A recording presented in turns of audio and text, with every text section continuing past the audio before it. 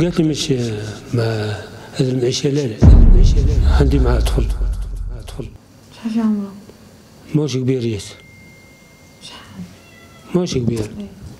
بديتوا معاها؟ آه، داتو حاولت ترجعها للدار؟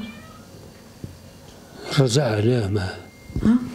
حاولها لا قد ترى رجعها لا هدرت معاها مور ما راحت؟ ها؟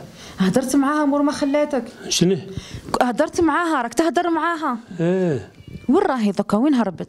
راه في في طوقه هي في طولقة آه يعني على بالك وين راهي؟ آه ما رحتش ليها لطولقة؟ ها؟ ما رحتش ليها لطولقة؟ لا لا نروح لها ونصرف على بنيت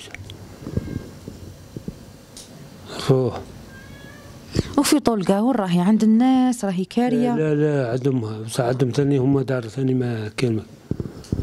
ساكنين فيها. إيه. وش قالت لك وش عندها الشرط الشرط تاعها دير لها الدار باه تولي؟ دور على دار وحدها. إيه بصح على بالها هي قبلت بيك نهار الأول هكا. إيه. حكينا لها حكينا لها قبل قدام الاخطباق حكيت لها. قلت لها دايره ما عندي. إيه بصح على بالها هي قبلت بيك نهار الأول هكا. حكينا لها حكينا لها قبل قدام الاخطباق حكيت لها قلت لها. دايره ما عندي قلت لها دايره ما عندي. وقبلت بيك. إيه.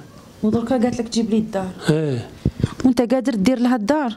ما عنديش ما عنديش بندل لا نقدرش نوصف لكم هذا المكان كارثة بأتم معنى الكلمة.